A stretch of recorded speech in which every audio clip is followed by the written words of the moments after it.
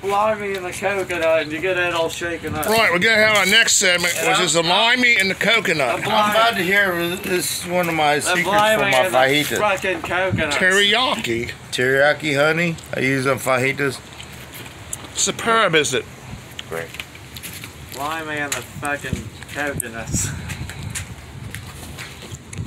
Can we roast coconuts or do they explode? Uh, roasted coconut.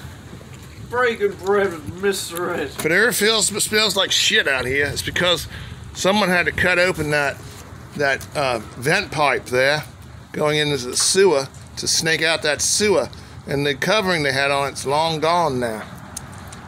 That's right. Sounds about right. Sounds about right. Oh, that's about right. Alright, play that song.